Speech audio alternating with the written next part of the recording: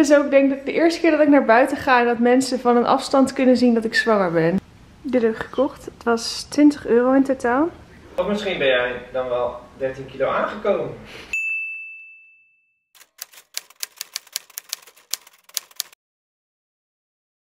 Goedemorgen, welkom bij weer een nieuwe video. Het is vandaag zaterdag en het is inmiddels half tien.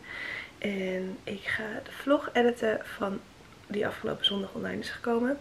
Ik zit hier in uh, slaapkamer nummer 2. Dit is de kamer waar we over een paar maanden in willen gaan trekken. Als uh, mijn buik echt heel groot wordt en vlak na de bevalling. Misschien zelfs wel een paar maanden na de bevalling ook nog. Dit is de kamer. Ligt nu vol met uh, truien die nog verstuurd moeten worden. Die nog liggen te wachten op um, extra truien. Want niet alles is in één keer geleverd. Hier liggen ook nog drie truien die helaas geen bestemming hebben. Omdat ik het niet meer kan vinden in mijn administratie. Maar daar hebben jullie al genoeg van kunnen zien in mijn vorige vlog. Dus als je daar interesse in hebt, eh, ga dan vooral eventjes kijken naar de vlog van afgelopen woensdag. Zondag bedoel ik. Maar goed, het ziet er hier al wel gezellig uit, vind ik. Ah, Tuur is eindelijk thuis van het hardlopen. Het is inmiddels 8 voor 12. En ik mag nu eindelijk ontbijten. ik heb wel een paar happen kwark op, maar... Nou, maar je was er wel. Uh, toen ik naar PostNL ging om 8 uur, toen was je wel al uit je bed. Ja, dus ik heb best wel honger. Laten we dan maar ook gewoon snel eten. En nu is de vraag, bewaar ik dit voor vanmiddag? Of ga ik meteen door? Wat zou jij doen? Ik denk dat ik niet echt honger meer heb, maar dat ik vooral dorst heb. Dus dat ik gewoon nu moet stoppen. Ik heb heel erg veel zin in iets zoets, omdat ik net zoveel zout heb gegeten. Achter Tuur staat een pakket van DSW van mijn zorgverzekeraar. Tuur dacht dat een, ik zeg, eh, dit is het kraampakket. Dus Tuur die dacht dat er allemaal cadeautjes in zaten. Ja, ik, ik dacht echt dat DSW, uh, wat jij daar, daarbij zit, als uh, je, met je ziekte, ziekte, ziektekostenverzekering. Ja. Dat zij uh, blij voor ons waren en dat ze ons... dat is de blije doos. Volgens mij haal je die bij prenatal of zo. Een knuffel gaf en zo en dat soort dingen. Nou, hier zitten volgens mij luiers voor mij in. Luiers voor de baby. Navelstreng. Klem. Knipper. Hm. Ik weet niet, er zitten ook pleisters in. Mes Allerlei mes voor de compressen. Ik laat hem nog even dicht zitten, want we hebben het hopelijk nog niet echt nodig. Hoor je wat ik zei? Nee. Een mes voor de keizers? Gadver. Ik heb een pakketje opgehaald en het is mijn eerste tweedehands aankoop in ooit, denk ik. Ik heb op Vinted wat babykleertjes voor Olly besteld. Aangezien ze in uh, de zomer geboren wordt. En je hebt wel jasjes en dingetjes nodig, maar ik kan me echt niet voorstellen dat je die vaak gaat gebruiken. En ik vind het super zonde om een jasje te kopen wat, je misschien, wat ze misschien één keer of nul keer aantrekt en dat dan mega duur is. Dus ik heb het via Vinted besteld. Tuur wil eigenlijk dat ik stil ben, want we kijken naar de 800 meter indoor series. Go. Samuel! Go Samuel. Maar Samuel zit pas in de derde serie, dus Ja, ik kan nog wel even vloggen, dus vind ik hoop ik. dat de eerste en de tweede serie een boemeltje worden. Ik hoop het ook. Dit heb ik gekocht. Het was 20 euro in totaal. Dit vestje van Noppies was nooit gedragen. Maatje 62. Dan heb ik twee jasjes van Noppies. Maatje 56. Die vestjes waren nu allebei 5 euro. Een shirtje van Petit Bateau. En een klein pyjama pakje. Ik uh, vind het wel leuk uitzien. Ik heb voor Tuur een uh, Tiroler appelbol gehaald. En ik heb zelf een citroentaartje. Lekker taartje! Als het geen goede look voor mij, denk ik. Voor jou is een look altijd goed, Annemeer. En zeker met zijn taartje. Het is weer borreltijd. Het is best Oh. wel laat voor de borrel me dat ik altijd op mijn eigenlijk. telefoon maar ik zit echt nooit op mijn telefoon. Nooit is wel een beetje overdreven, want je batterij is bijna op. Nou, door muziek die ik draai. Oh, is dat het? Het is borreltijd. En we zijn op Ikea een beetje inspiratie aan het opdoen. wat we voor de keuken moeten kopen. Ik wil graag wekpotten voor eh, pasta en zo. En rijst. Tuur is het ermee eens. Dat is wel leuk die potten, toch? Ja, ja. Ik had ze eigenlijk bedacht. Heb ik tegen Ikea gezegd dat zouden jullie wel kunnen produceren. Oh, ik denk, waar gaat dit verhaal naartoe? Ik had nog niet eens één slok bier op en je was al grappig.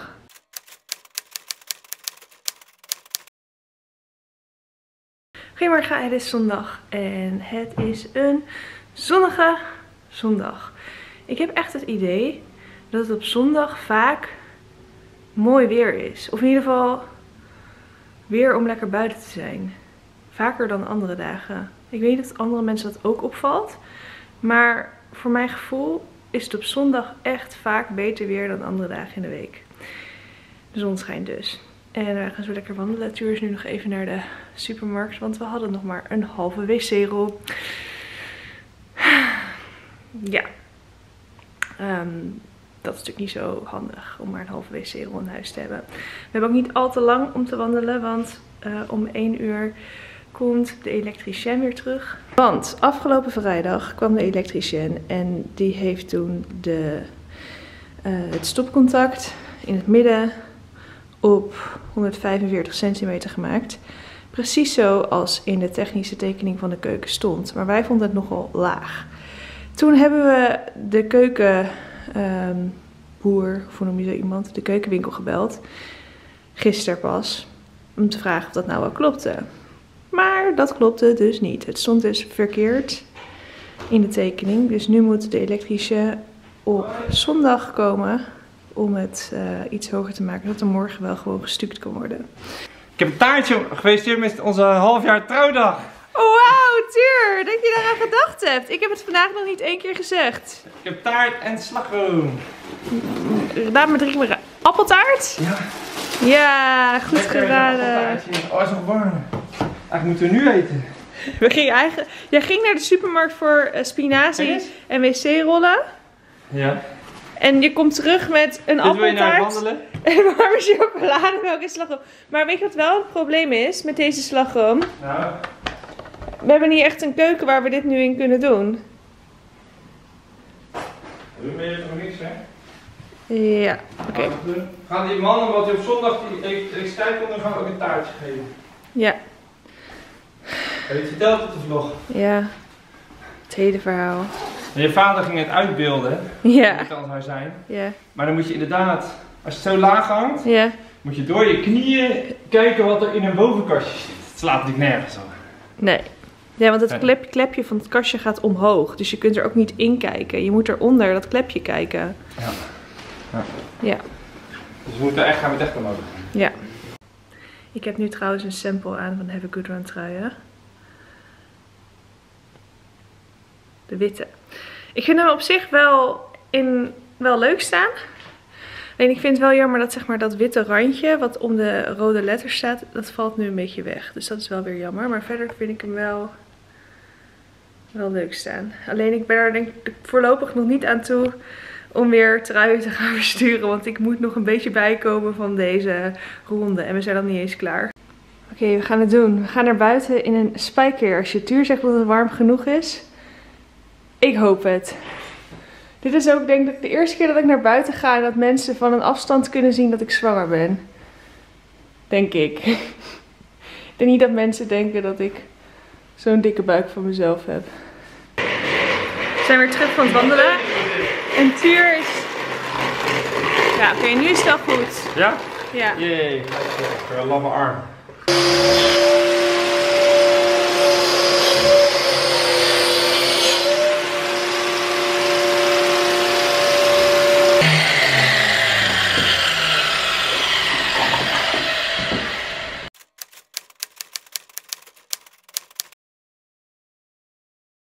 Goedemorgen, het is maandag en het is hier weer een gezellige bende. Er wordt vandaag eh gestuukt, de stukendoor is er al. En ehm, ja, tussendoor ga ik ook nog proberen mezelf nuttig te maken. De stukendoor is weer weg. Alles is nu gestuukt. En wij kunnen over twee dagen, als het goed is, gaan verven. Het moet dus opdrogen. En als het opdroogt, dan is het wit. Dus als het droog is, dan is het wit.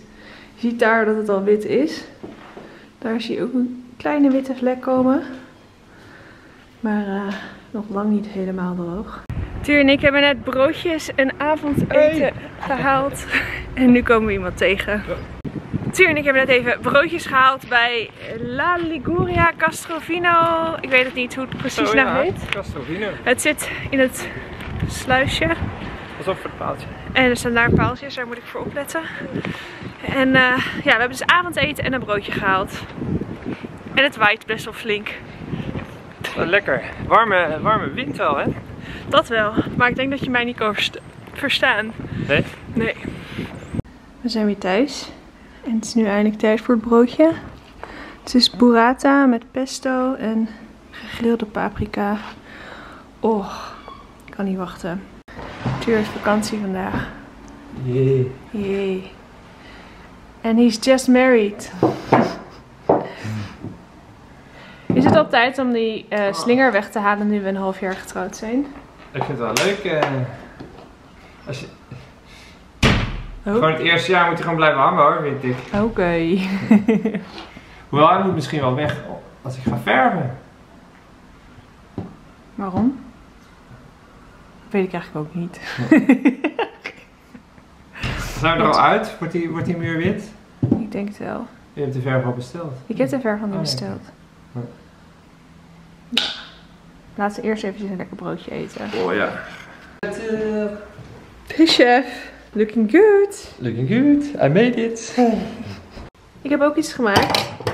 Salade met eh, bruschetta. eh, toppings. Tomaat met basilicum en ui en knoflook. Tuur en ik hebben net een live Q&A gedaan. Voor Have a Good Run. Tuur zit uit te chillen. Tuur zit heel erg te chillen. En Tuur had vandaag een training gedaan. Ik weet niet of dat al op de vlog verteld had. Van in totaal 17 kilometer met een pace van 3,58 gemiddeld. 9 keer 1000 in totaal. Op marathon tempo, halve marathon tempo en threshold. En dat dan drie keer. Zonder wandelpauze. Tuur, eh, Zit stuk. en Tuur moet eigenlijk het wasrek nog in elkaar zetten. Ga ik nu gelijk doen. Echt? Tuurlijk. Die was Oh. wat afgehangen. Oké, dat ging ineens makkelijk. Ik probeer je dat al een uur te laten doen en ik zeg het één keer op de vlog en je staat op. Je hebt mij al nul keer gezegd wat ik moest doen. In mijn hoofd wel. Ik zei het Ja. alleen niet echt, maar ik dacht het wel. Nee, de andere natuur wil je op de vlog. Echt? Haar zit niet goed. Zijn haar zit niet goed. Tuur probeert een afspraak met de kapper te krijgen, maar volgens mij zit de kapper al helemaal vol de komende maand. Armatuur. Armatuur. Ja. Anyway, En de traptuur. Tuur, noemt- Tuur noemt zichzelf de traiteur. Omdat we vandaag eten bij de traiteur hebben gehaald. Wat een grappenmaker. Anyway, Dat is echt lekker zeg. het was echt super lekker te eten. Super smaakvol. En ik had ook nog wel het gevoel dat ik een beetje enigszins gezond aan het eten was. Kijk, er zijn natuurlijk veel gezondere maaltijden. Maar het was gewoon goede kip. Ehm, het was, waren lekkere aardappeltjes. Volgens mij wel met wat vet. Maar wel heel lekker. Goede salade. Ik zeg... Die broodjes waren ook goed voor En die broodjes waren ook super lekker. Hadden we die gefilmd? Ja, die broodjes hebben we ook gefilmd. Die waren ook heel lekker. Ja. En de wandeling was ook leuk. Ja, en de appeltaart met slagroom was net ook lekker.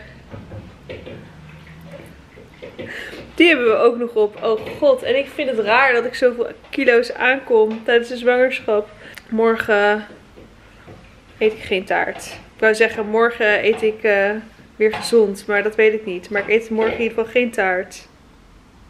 Is er morgen geen reden om taart te eten? Eh, ja, ik kan wel wat verzinnen. Morgen is het 23 februari. Misschien is er wel iemand jarig. Of misschien ben jij dan wel 13 kilo aangekomen. Dat weet ik niet, want ik ga niet op de weegschaal morgen. Dat is ook wel iets om te vieren. Gemeen. Nee. Ik heb vandaag wel weer pilates gedaan. Voor het eerst in drie dagen. Want ik had dus best wel last van een stijve arm. Na de 22 weken prik. En die pijn is echt meer dan 10 dagen gebleven. En op een gegeven moment dacht ik van misschien moet ik gewoon stoppen met pilates. Steeds door die pijn heen gaan. Want ik heb het idee dat het op deze manier echt niet geneest. En ik heb nu dus drie dagen geen pilates gedaan. En de pijn is weg. De komende dagen gaan we verven. We moeten nog wel verf bestellen voor deze muur. Deze muur wordt nu helemaal wit.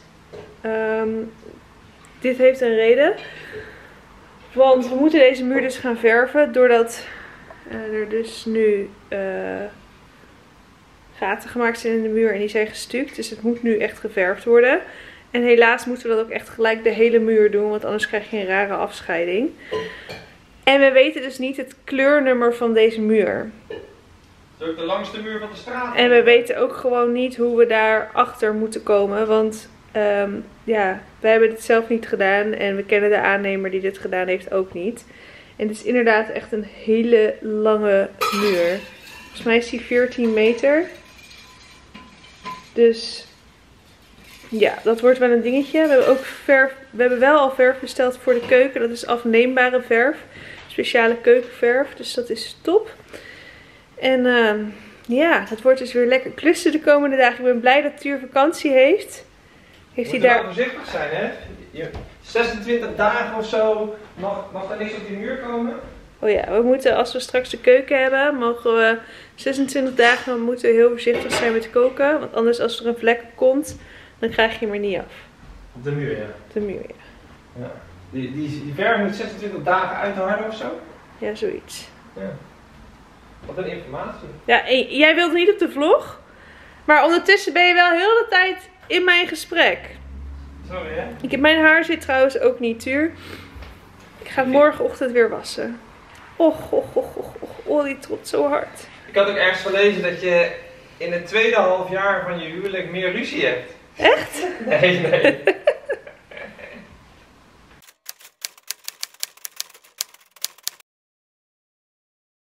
Goedemorgen, het is dinsdag en ik ben aan het werk. Tuur is een sapje aan het maken. Die is vanmorgen om kwart voor zeven al aan het werk gegaan. Met feedback geven. Ehm, ik lag toen nog lekker te slapen. Ik werd wakker en ik denk, waar is Tuur? Die was gewoon aan het werk. Dus ja, that's what's up. Oké, we zijn een paar uur verder. En ik zit nu op een stoel in de slaapkamer. Want eh, er is weer een werkman gekomen. Dit keer weer voor de elektriciteit. Dus ja, is niet zo heel fijn voor mij om dan in de woonkamer te werken. Ik ga deze vlog editen op deze stoel met mijn laptop op mijn schoot. Het moet maar eventjes zo.